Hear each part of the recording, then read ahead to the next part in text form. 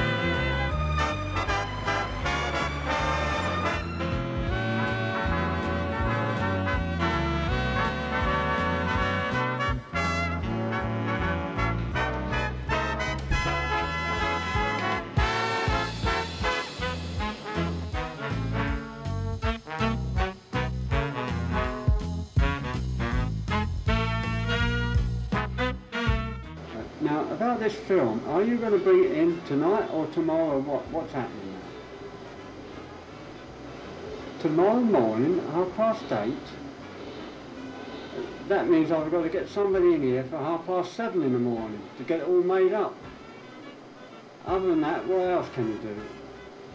Bring one in at half past ten tonight, one will, and the other six in tomorrow morning. Well, that's no good at all. It's going to cost treble time in the morning. Ten hours. That's all wrong. Can't, you- you'll have to do something more. Other than that, we don't show it at all. Right, that's it. You get on to your head office and sort it out.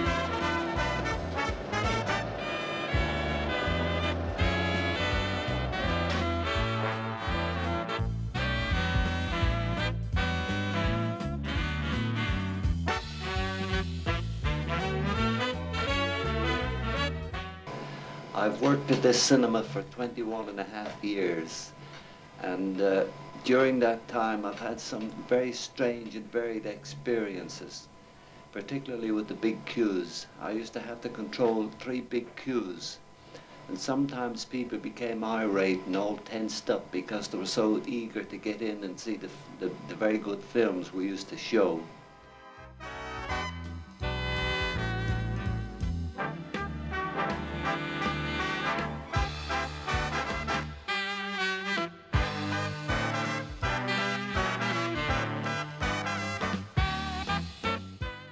During the 60s, we had one evening, we had the Beatles in, and it was my particular job to look after Paul McCartney so that he wouldn't be mobbed when, when, he, when we went down into the lounge in the theatre. There were many people waiting, and the management feared that people would irritate or annoy him by asking for autographs and that kind of thing. But uh, he was very friendly, very nice young chap, and uh, when he left the theatre after the show, he gave me quite a sizable tip.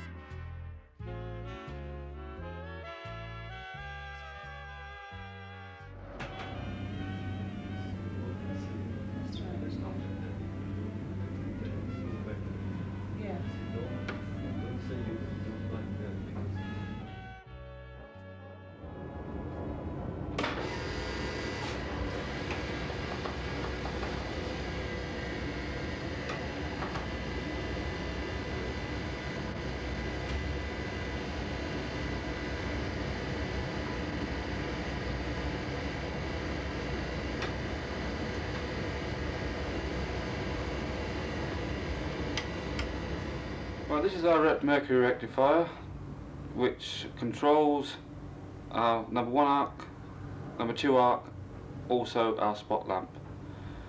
This is the only mercury rectifier left here in the West End, and, uh, and all I can say is it's one of the best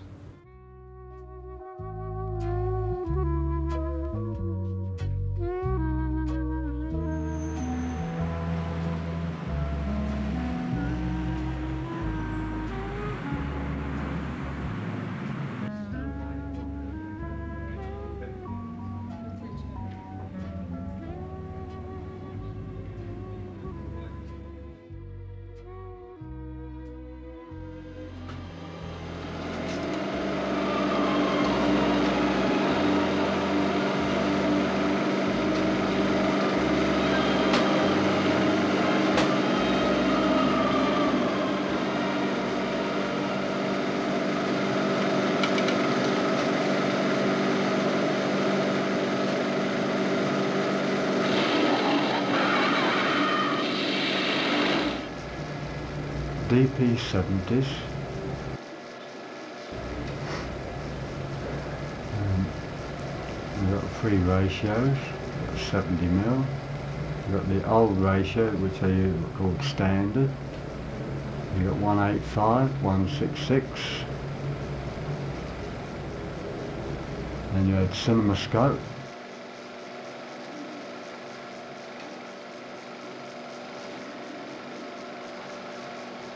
Now these DP70s are a lovely machine to work on. They're very quiet, oil sealed.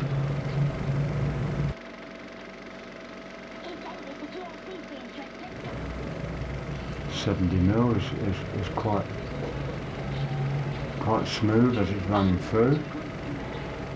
Comparing it with a, with a 35, you, you'd never know whether it was 35 or 70 mil running through.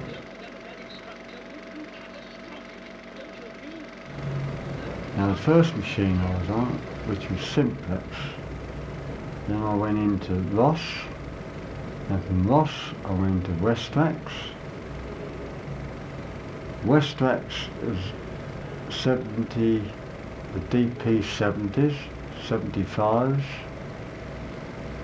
and now I'm on the on on the 70s, Philips 70s.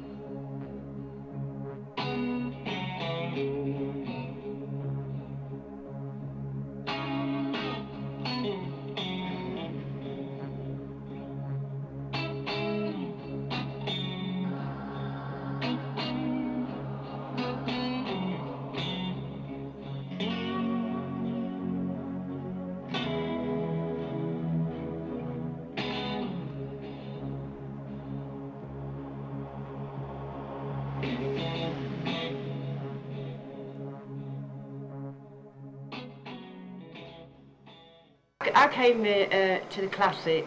I came to the um, the Columbia, and then the Classic took us over, took it over, and I've worked for them ever since. And then it was changed over to the Premier, and I was a cleaner, and I run this, I've run this cinema all on my own, and enjoyed every minute of it. And it, I'm very sorry it's coming to an end.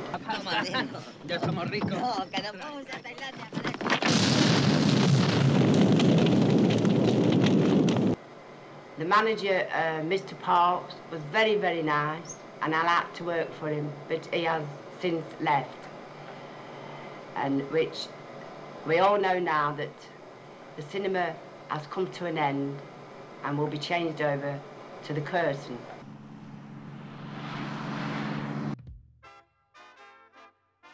This is a 35mm film we use. Well, it was August 1945. I happened to go to the pictures one night and see a slide on the screen for a trainee boy as projectionist. So I thought I'd go along and see about the job as I was leaving school at that time. And this is a 70mm film we use. I went along the manager said, yes, we'll try you out for a fortnight and see how you're getting on. Uh, and so from then onwards, I was there for quite a time, but I, as, I, as I went along, I was, jobs I was detailed to do was cleaning arcs, sweeping the box floor, cleaning brass, fire shutters, rewinding, but I wasn't never allowed to go on the machine until roughly about 18 months, but all that time I was doing cleaning and maintenance, lamping up.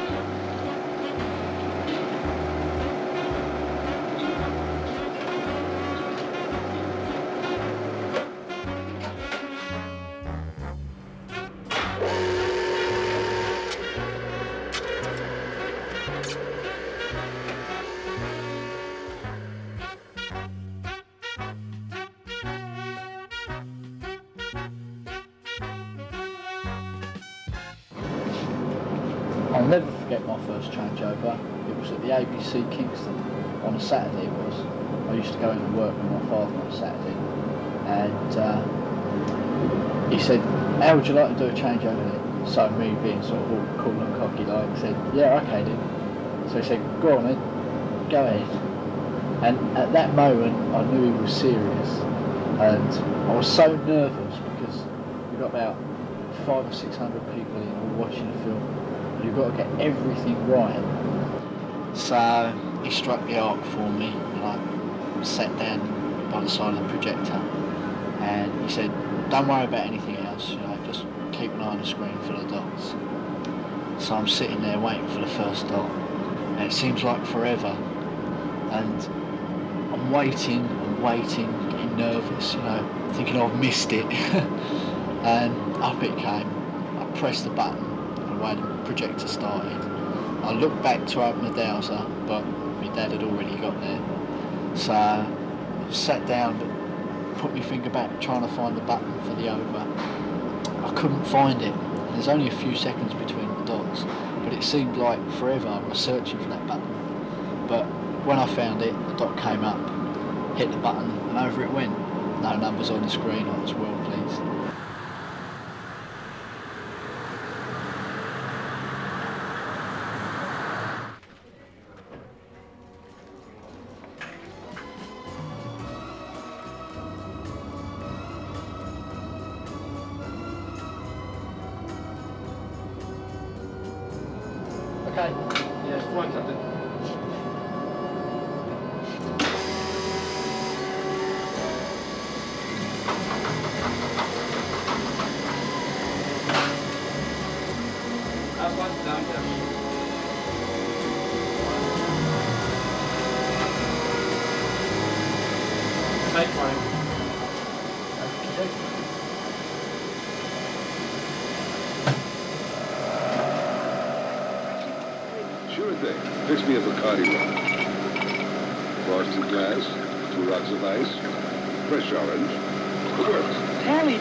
Dear heart, you're resting. You don't have to drink Bacardi and orange. Like Bacardi and orange. Great, Kelly, great. That's real dedication.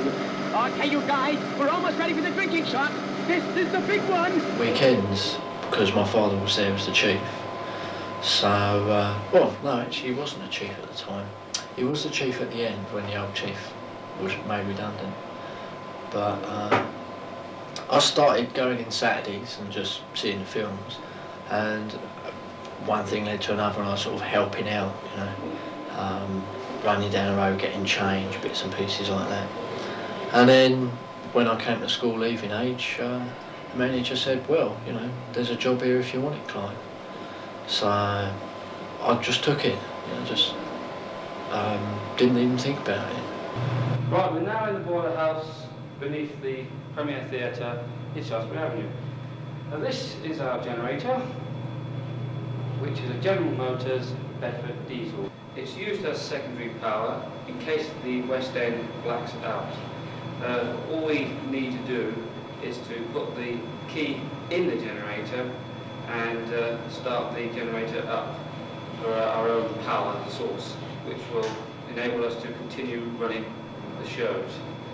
Um, this will give us all our needs. It will run, operate the projectors, the boiler, also the main motors in the theatre, and it will also give us our own power.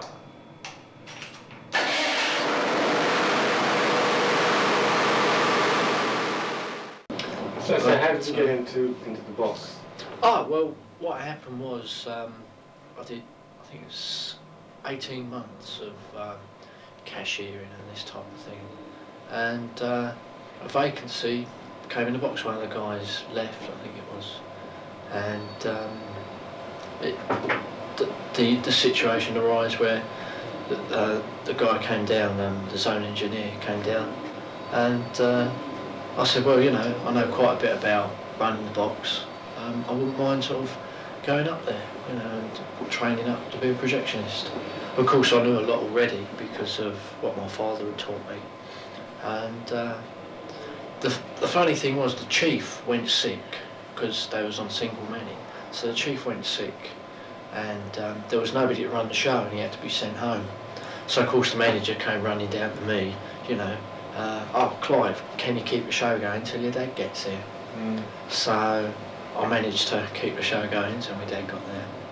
It just led on from there. Um, they, they put me up there as a trainee and uh, was qualified, but unfortunately they, they closed it down. They sold out to the bingo downstairs.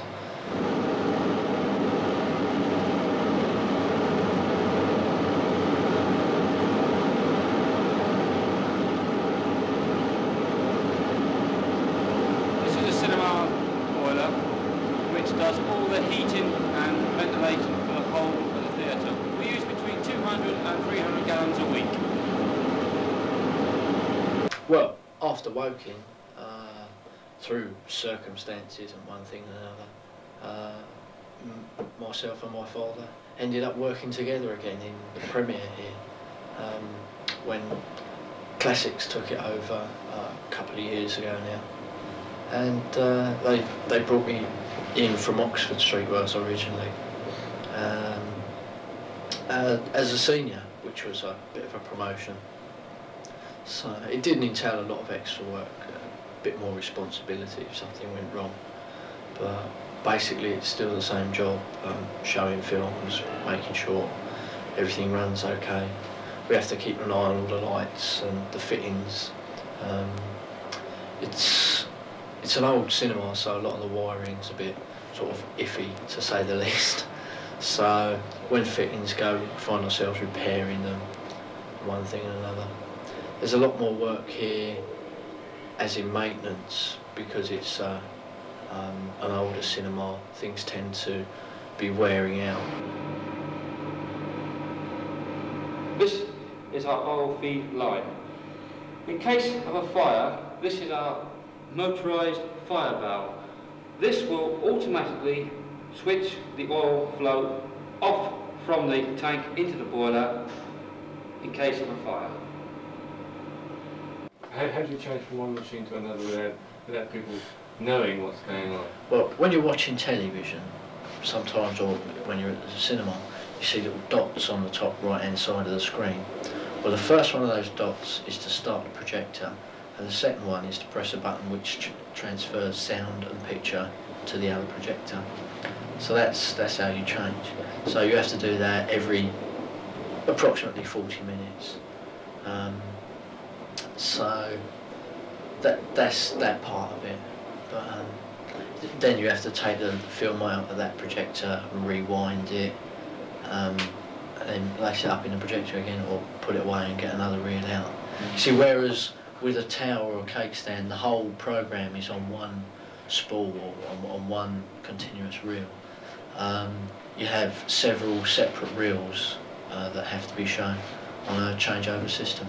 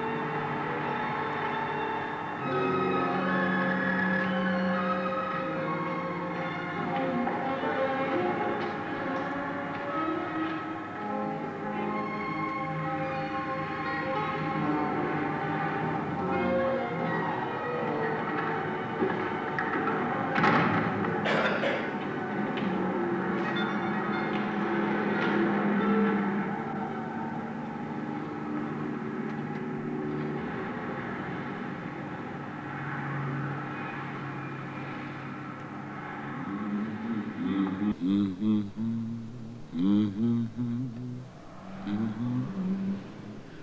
I know we'll meet her.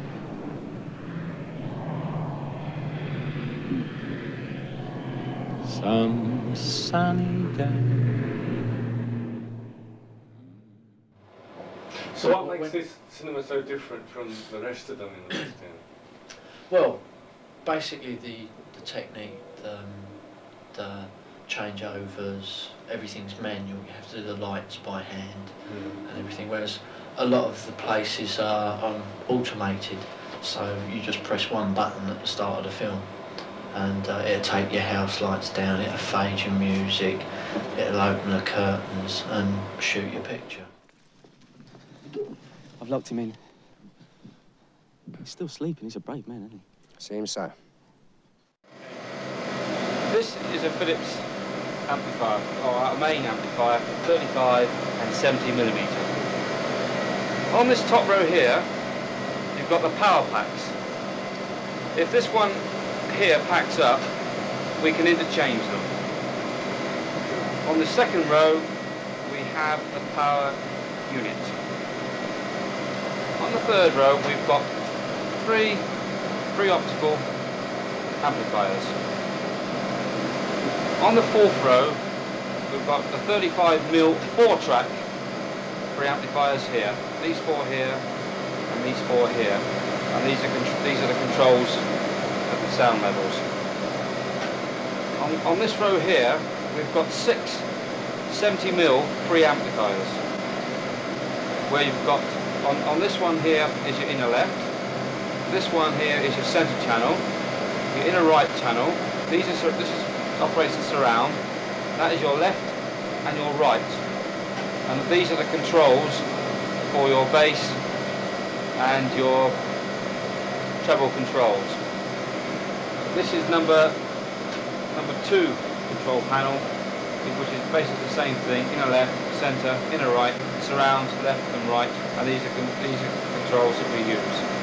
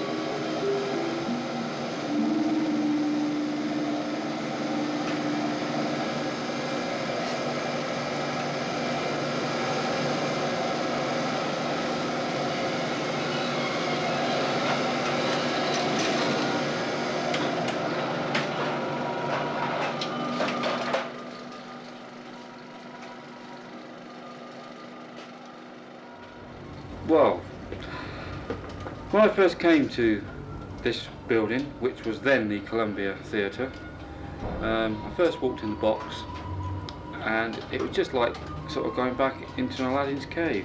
You know, everything here was as I read in books of how the old projection boxes used to be, where there was absolutely no automation here at all.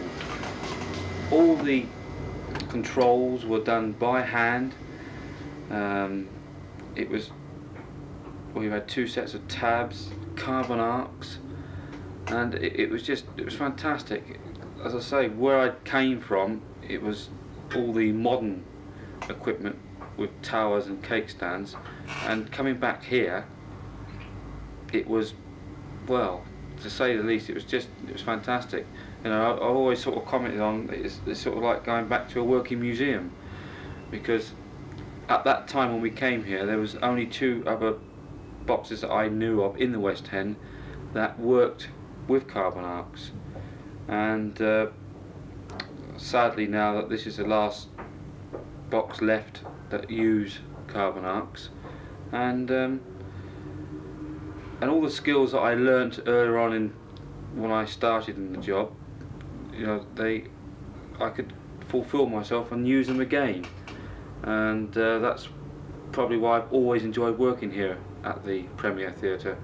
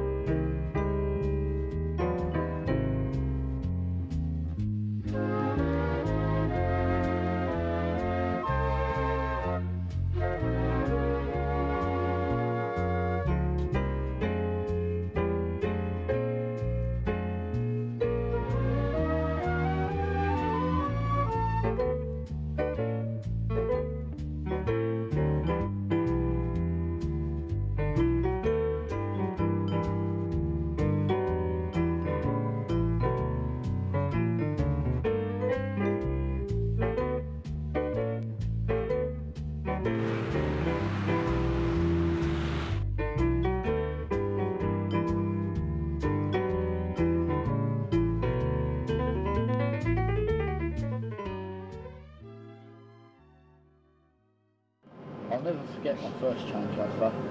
It was at the ABC Kingston, and uh, it was on a Saturday because I used to go into work with my father on a Saturday, and I was only about nine, ten, something like that. Tea, your tea's cold.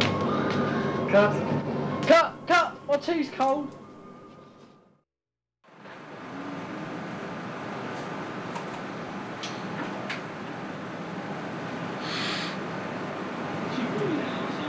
Yeah, what you grinning at, arsehole? Got nothing to smile about, mate, if you knew. Now, I started in, in this business 40 years ago. It's a lot different than what it is today. The business was far better.